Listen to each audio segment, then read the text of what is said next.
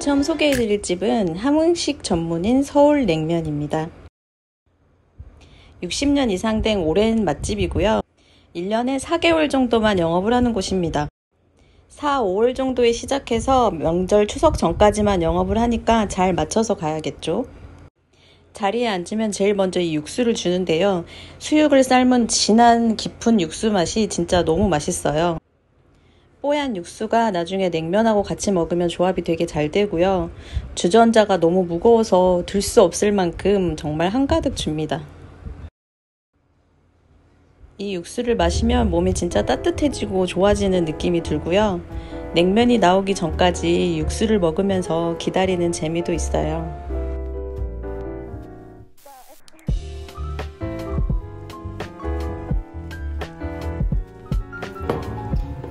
냉면이 나오기 바로 전에 식초와 겨자 그리고 양념 소스를 줍니다. 이 소스들을 꼭 넣지 않아도 기본 냉면 양념이 맛있기 때문에 개인 취향에 따라서 넣어서 드시면 됩니다. 드디어 냉면이 나왔습니다. 양념이 너무 맛깔스럽게 보이죠? 면이 진짜 너무 쫄깃쫄깃하게 맛있고요.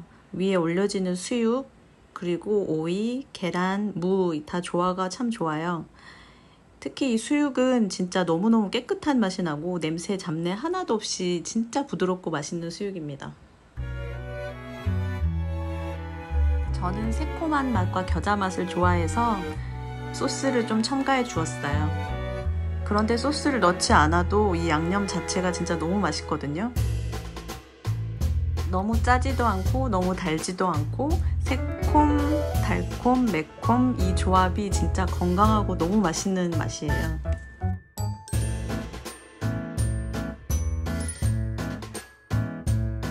이 함께 주는 무채가 진짜 대박인데요. 이 시원한 맛이 냉면과 너무 잘 어울려서 얹어 먹다 보면 끝도 없이 먹게 돼요. 수육 진짜 야들야들한 거 보이시죠? 진짜 살살 녹습니다.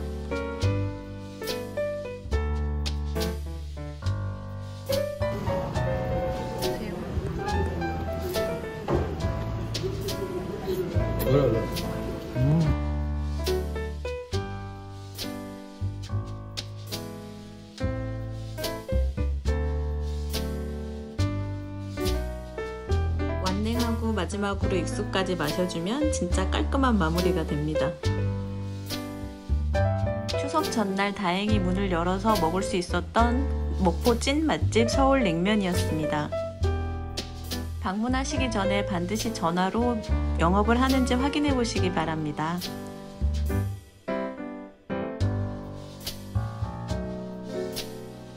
그리고 바로 건너편에 오래된 맛집 유달 콩물도 있는데요. 시간이 되시는 분들은 여기도 들러보시면 좋을 것 같습니다. 다음은 목포 시민들만 알 수 있는 찐 맛집 오룡시장 안에 있는 횟집을 알려드릴 텐데요. 상차림이 정말 어마어마한 그런 곳입니다. 자연산 해산물만 취급하고요. 전국 배달도 하는 곳인데요. 오룡시장 안에 있는 삼양회 수산입니다. 기본 상차림이 이 정도입니다.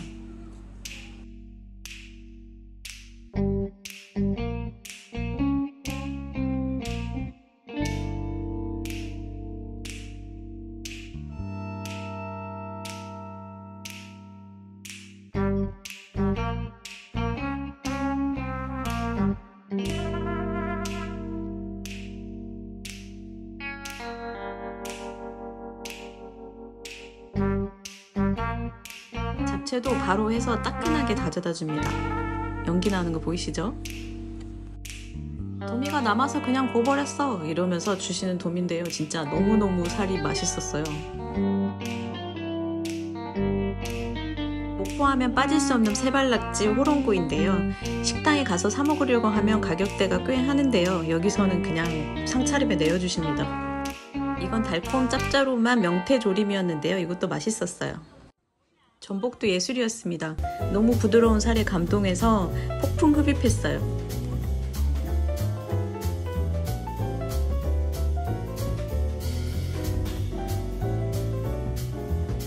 대표하는 음식 호모인데요. 잘 못 드시는 분들도 드실 수 있을 만큼 많이 삭히지 않은 맛있는 맛이었습니다. 우투더 영투더 우. 와, 민어성. 이거, 이거 뭐예요? 이건. 오. 감성도.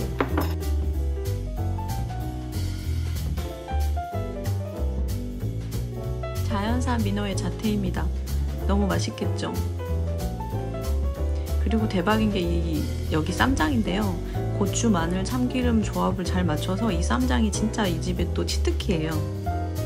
민어 뱃살. 껍질은 익었어요. 익힌 거예요. 아, 고쳐야 될 거만. 이거, 이거, 이거, 이거 가운데가 민어, 여기- 여기까지가 민어, 여기서 여기까지 강정한 거. 난 지금 방금 민어 먹었는데 민어야? 농기계. 먹어 먹어. 장난 장난 아니야. 얼마나. 기준기. 전 민어 뱃살을 이렇게 따로 먹어본 건 처음이었는데요. 어, 진짜 꼬득꼬득하고 너무 맛있었습니다.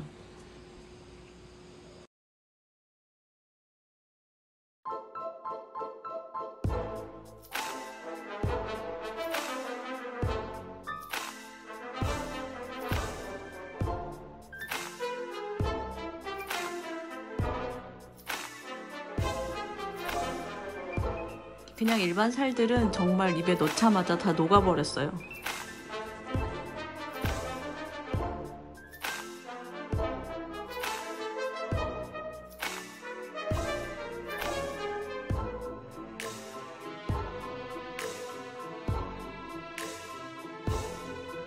감성동도 진짜 너무 맛있었는데요. 식감이 꼬득꼬득하다고 해야 될까요? 적당히 씹는 식감이 있고 또 한편으로 부드럽기도 해서 너무 맛있었습니다.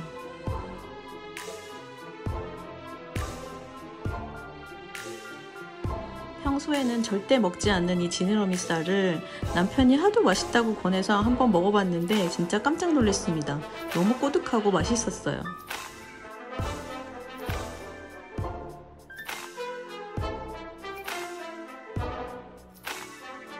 그리고 차갑게 얼린 돌을 바닥에 깔아두어서 회를 계속 시원하게 먹을 수 있게 하는 게 이 집의 좋은 아이디어인 것 같습니다.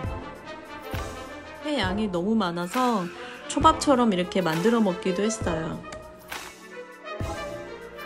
마지막으로 지리가 나왔는데요. 이 집 지리는 정말 제가 평생 먹어본 지리 중에 가장 맛있다고 할 정도로 진짜 맛있는 탕입니다.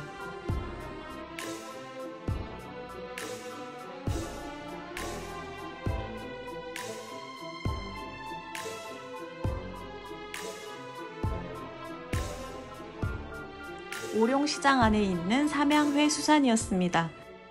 가시기 전에 전화해서 그날 좋은 회가 어떤 건지 상의해 보시고 가시는 것을 추천드립니다.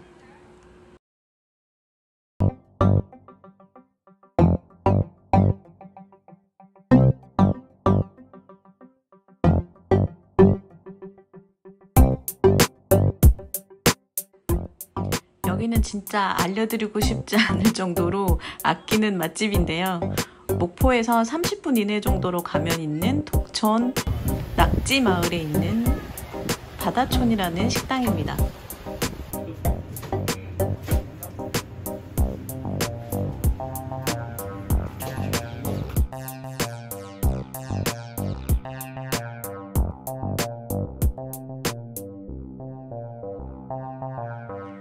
기본 찬들이 진짜 너무 맛있고요. 특히 간장 게장은 정말 예술입니다. 저희는 가면 낙지 초무침을 시켜 먹는데요. 매콤, 새콤, 달콤한 조합이 정말 어디에서도 맛볼 수 없는 완벽한 맛의 조합이라고 할 수 있습니다. 이 한가득 주는 미역국도 낙지 초무침과 조합이 잘 됩니다. 이렇게 큰 그릇에 참기름을 담아 주는데요. 밥을 넣고 낙지 초무침을 넣어서 비벼 먹는 거예요.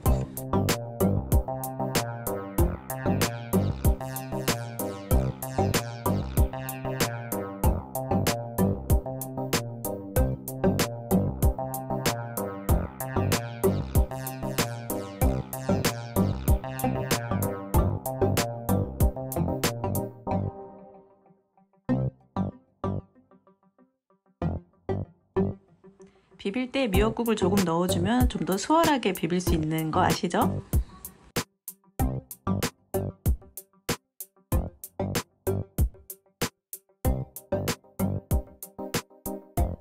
이 바다촌 식당은 늦게까지 하는 곳이 아니기 때문에 점심시간에 가시는 거를 추천드리고 반드시 전화로 예약하고 가시기 바랍니다.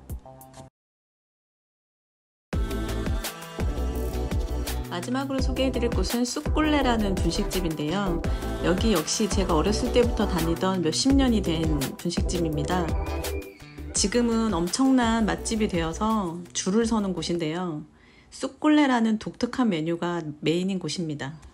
정말 독특하고 이 건강한 단맛이 정말 한도 끝도 없이 먹게 만들거든요. 반드시 드셔보시기를 추천합니다. 서울에 계신 분들에게도 좋은 소식인 게 이 쑥골레라는 식당이 서울에 있는 현대백화점, 삼성점, 압구정점, 판교점에 팝업 스토어를 연다고 합니다.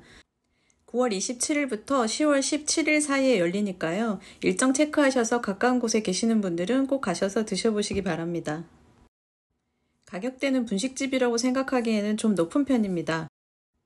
그런데 그 독특하게 맛있는 맛과 건강한 재료들을 생각하면 이 가격을 지불하는 게 나쁘지는 않습니다. 제가 너무 좋아하는 이 집 떡볶이가 또 예술인데요. 두툼하고 쫀득쫀득한 쌀떡으로 만들어져 있고요. 양념 맛이 뭐라고 해야 될까요? 약간 매운탕? 그런 느낌도 조금 있는데 텁텁하지 않고 적당히 달콤하고 맛있는 정말 신기한 맛입니다. 직접 만들어서 구워주는 이 군만두도 예술입니다. 정말 너무너무 바삭바삭하고 한 100개도 먹을 수 있는 그런 맛입니다.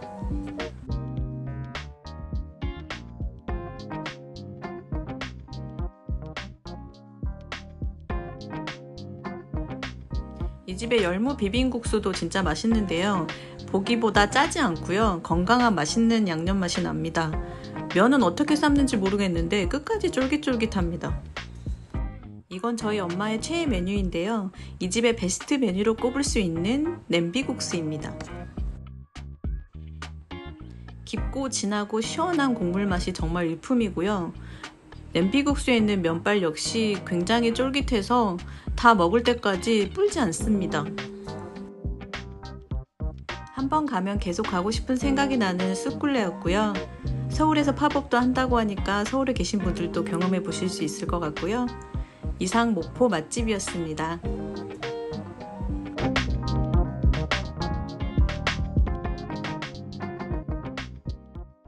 이거 유튜브로 지금 촬영해가지고 보는데요. 예, 아이고, 자, 감사합니다. 사장님 찍어버려.